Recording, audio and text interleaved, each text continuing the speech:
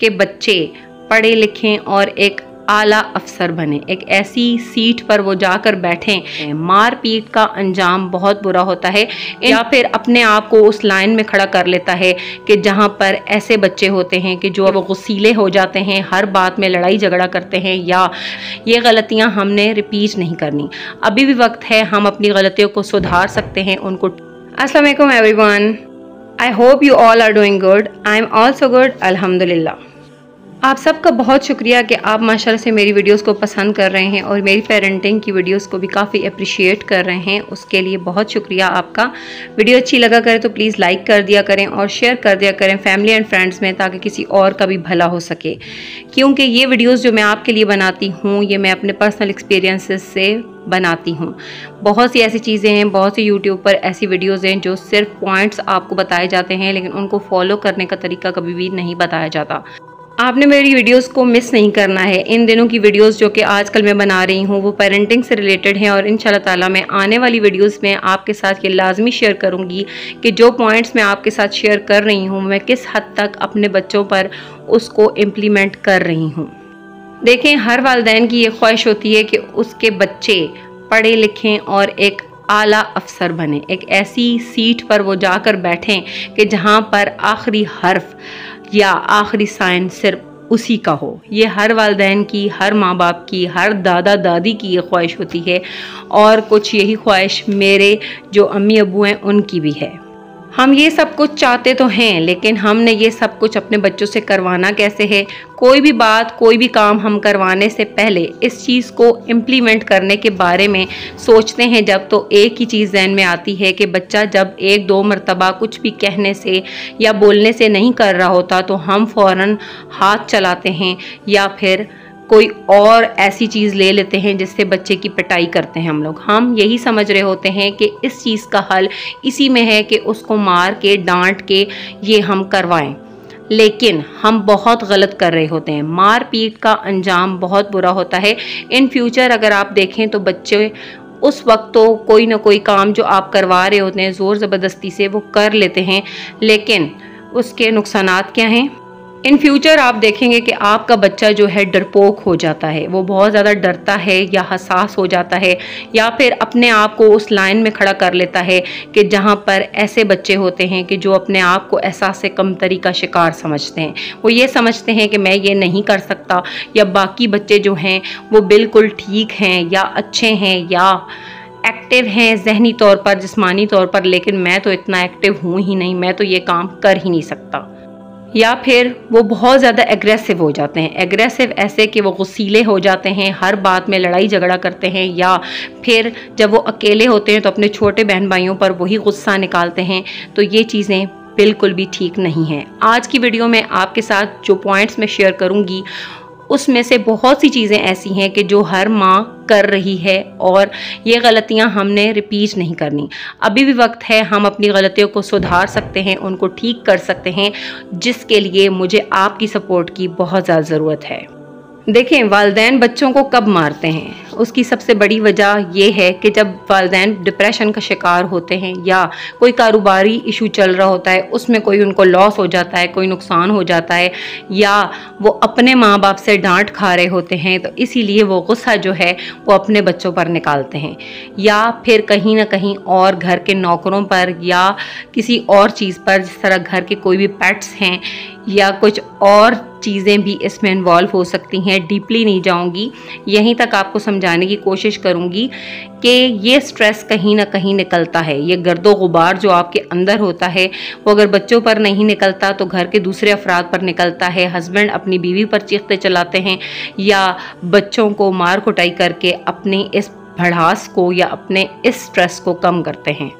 लेकिन ओवरऑल देखा जाए तो हम अगर कोशिश करें तो इंसान है। ज़रूर अल्लाह ताला हमें कामयाब फरमाएगा, क्योंकि हम कोशिश कर रहे हैं तो अल्लाह पाक ने इस चीज़ का वादा किया है कि तुम हीला करो, मैं वसीला करूँगा इन यानी कि आप अपने बच्चों के साथ लगे रहें इन एक ना एक दिन ज़रूर आप कामयाब होंगे। क्योंकि हमने एक आध दिन में तो बच्चे को इस तरह से नहीं बना दिया ना। सालों लगे हैं।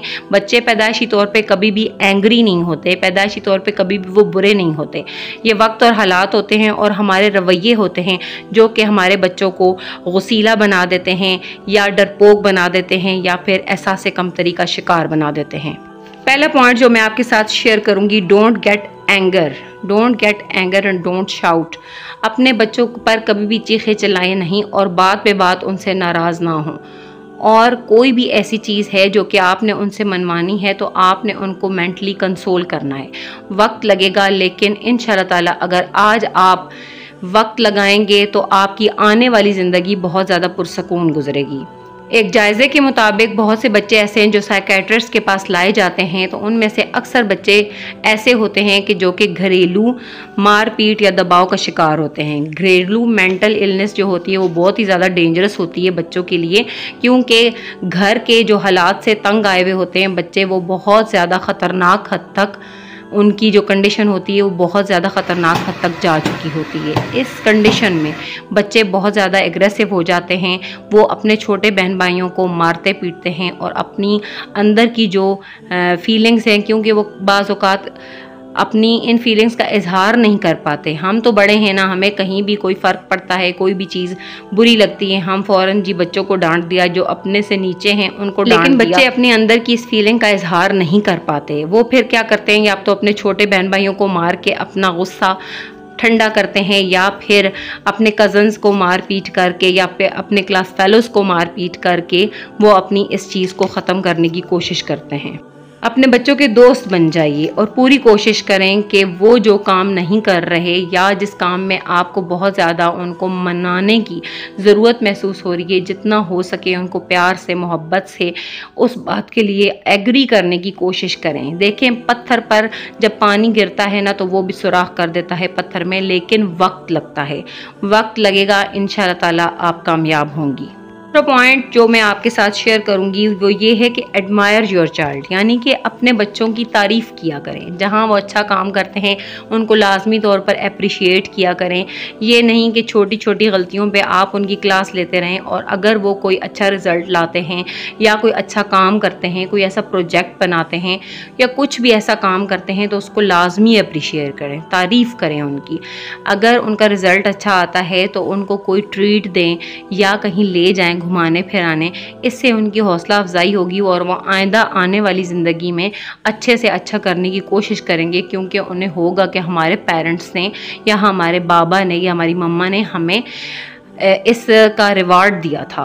रिज़ल्ट मेरा आया था तो मम्मा ने ये दिलाया था, मम्मा ने वो दिलाया था। ये जो चीज़ें होती हैं ना, एक रिवार्ड होती हैं। रिवार्ड के तौर पे जो बच्चों को दी जाती हैं, वो बच्चों को हमेशा याद भी रहती हैं और वो अच्छे से अच्छा करने की कोशिश करते हैं।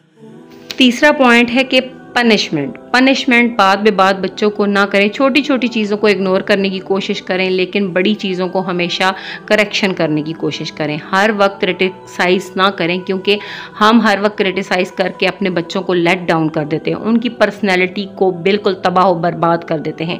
ये हमारी सबसे बड़ी मिस्टेक है जो कि हम कर रहे होते हैं। अच्छा एक बहुत ही इंपॉर्टेंट पॉइंट जहाँ, जो मैं अभी शेयर कर रही हूँ, इसको लाजमी आपने देखना, सुनना है। ये बहुत ही इंपॉर्टेंट है, जो कि हर माँ के लिए बहुत ज़्यादा ज़रूरी है।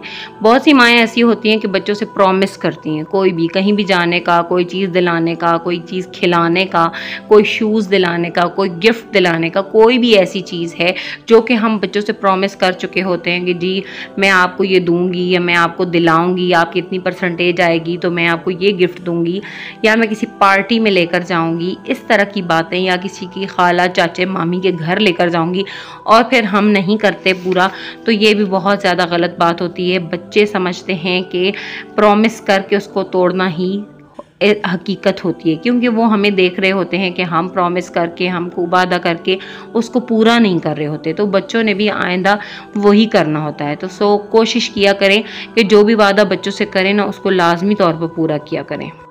अच्छा एक और चीज़ भी जो बहुत ज़्यादा देखने में आई है कि बच्चे होते हैं ना, उनकी छोटी छोटी मिस्टेक्स जो होती हैं ना, हम वो देखते रहते हैं, ऐसे ना बैठो, वैसे ना बैठो। मतलब इस तरह की चीज़ें, आप ऐसे क्यों चले हो? आपने जूता उल्टा क्यों पहना है? आप जूता पहन के अंदर क्यों आ गए कि घर गंदा होगा? इस तरह की जो चीज़ें होती हैं ना, ये इग्नोर कर दें तो ज़्यादा बेहतर है। बजाय इसके कि आप बड़ी बड़ी चीज़ों को इग्नोर करें और छोटी छोटी चीज़ों को पकड़ के बैठ जाएँ तो बच्चों को यही होगा कि हमारी छोटी छोटी चीज़ों में हमें पकड़ा जाता है या हमें बार बार टीज़ एक तरह से टीज़ किया जाता है या टॉन्ट किया जाता है या डांटा जाता है तो तब भी बच्चों की पर्सनैलिटी बहुत ज़्यादा डिप्रेस हो जाती है।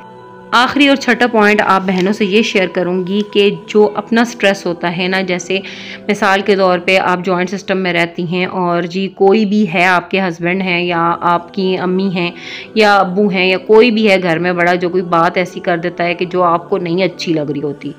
ठीक है? उसका क्या होगा जी? आपके अंदर वो उबलता रहता है सब कुछ और फिर आप क्या करते हैं?